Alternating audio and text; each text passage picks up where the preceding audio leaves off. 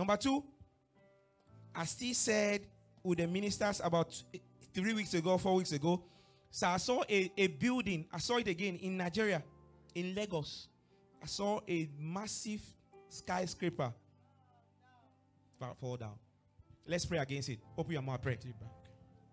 We are praying against all that as a church. Jesus.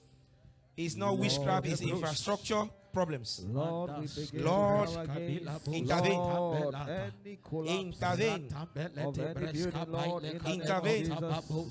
Intervene. Lord, we Intervene. stand in the. Intervene. Intervene. Intervene. out for your mercy, Lord. Intervene. Intervene. sake of your Intervene. Intervene. My Father, intervene in the name spared of In Jesus. the name of Jesus. Masoso For the payala sake kada. of your mercy. Oh Thank you, Jesus. peace, oh God. Thank you, Jesus.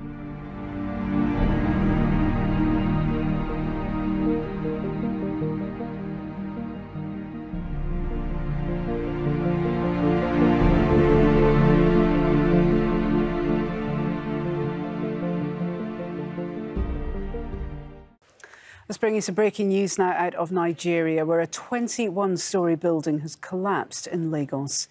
It's believed 50 people are trapped. Officials have been trying to demolish or retrofit unsafe buildings in Lagos, which is Africa's second most populous city. More than 80 buildings have been demolished so far this year.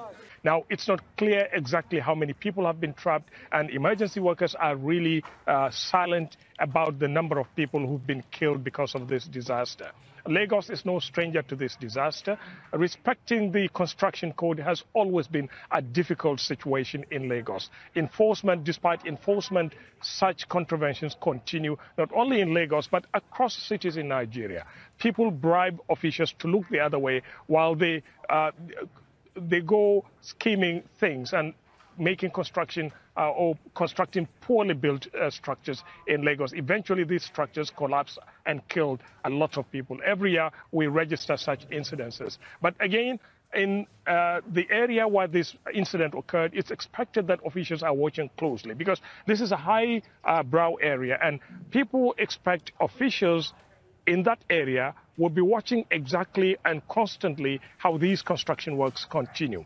Uh, it's not clear whether it's the fault of construction uh, uh, uh, construction workers or it's because of climate change. Lagos has been sinking uh, over the past few years because of climate change. There's been a lot of flooding in that area, but it's too early to say exactly what caused that incident, Hala. Okay, Ahmed Idris there, live for us there from Chad. Ahmed, for now, thank you very much indeed.